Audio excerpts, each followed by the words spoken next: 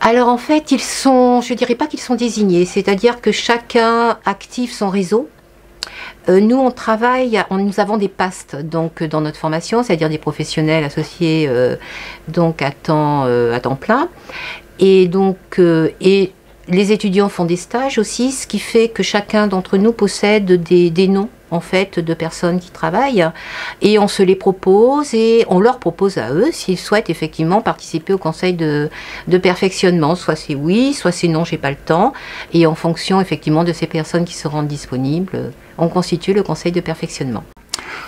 Euh, eh bien, en grande partie par le responsable de la formation, qui est quand même maître de son élément. Alors, il peut faire appel peut-être parfois à son propre réseau, euh, réseau qu'il a constitué parce que les étudiants ont fait des stages et qu'il a suivi ces stages-là, soit parce que des étudiants sont en alternance, il a aussi suivi les entreprises de cette nature-là, et puis il peut aussi reposer sur l'équipe d'enseignants euh, qu'il a avec lui et qui va aussi être force de proposition de professionnels, d'acteurs du terrain.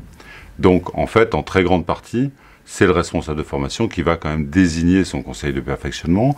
Moi, je voulais juste attirer l'attention peut-être, alors c'est peut-être un peu plus vrai sur les formations dites professionnalisantes, mais sur un bon rapport entre finalement des responsables enseignants, qui sont en fait l'équipe enseignante de la formation, mais aussi sur des personnes qualifiés venant de la société civile, qui sont plutôt, on va dire, les professionnels qui peuvent représenter le secteur, sur les personnels administratifs de l'université, qui ne sont évidemment pas oubliés, parce que, aussi bien parce qu'ils suivent en direct ces formations-là, ou alors ils sont associés via le centre de formation euh, des, apprentis, via la formation continue, ce qui peut évidemment se produire. Et puis enfin, dernier bloc, ce sont les étudiants eux-mêmes.